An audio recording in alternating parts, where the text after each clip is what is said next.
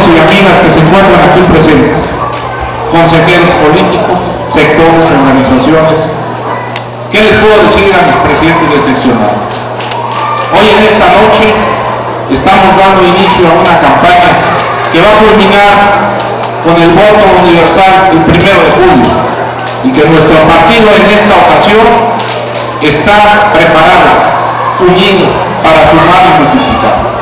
A mí no me queda duda, y lo digo ante todos ustedes, de que nosotros, el equipo que conformamos este gran partido, que le ha dado la paz y la tranquilidad a nuestro país, y que en un breve lapso de 12 años se han encargado de destruir los que no saben gobernar, hoy está unido.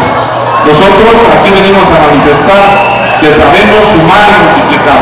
Por eso los invito a todos a que trabajemos desde ahora y día de la jornada electoral para que Salvador Romero sea nuestro diputado federal, para que Ascensión Igual y Rocío Pineda nos representen en el Senado. Y sin duda, porque lo sabemos, lo vemos, lo palpamos en las noticias, en el día a día, Enrique Peña Nieto será nuestro presidente de la República.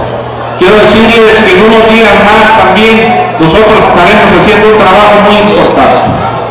Hemos recibido una encomienda de hacer un trabajo con la sociedad civil. Representa el 45% de las personas que no van a emitir su sufragio universal. La invitación, ayúdenos con ellos. Ocupamos ese voto.